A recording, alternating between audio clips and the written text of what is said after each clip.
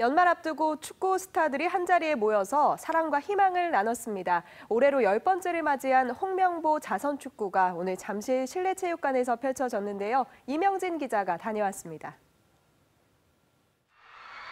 런던 올림픽 동메달의 주역 홍명보 감독이 인기 개그 코너인 꽃거지로 변신해 춤을 춥니다. 골키퍼까지 제치며 첫 골을 장식한 제주의 송진영은 최용수 감독 앞에서 진정한 복근 세리머니를 보란 듯이 선보입니다.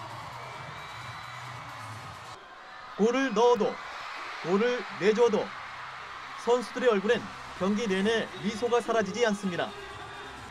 런던 올림픽 대표 선수로 구성된 사랑팀과 K리그 올스타로 이루어진 희망팀으로 나눠 펼쳐진 홍명보 자선 축구. 스승과 제자, 선배와 후배가 어우러져 축구로 따뜻한 사랑을 나눴습니다. 어, 좋은 음, 뭐 볼거리 제공 또 우리 축구를 통해서 사회 환원을 할 수 있다고 하면은 뭐 저희도 계속 어, 노력을 해야 되겠죠.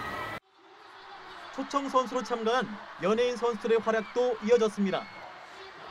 개그맨 이수근과 서경석은 평소 갈고 닦은 축구 실력을 뽐냈고 가수 김종국은 골까지 터뜨리며 골 세리머니 행렬에 동참했습니다.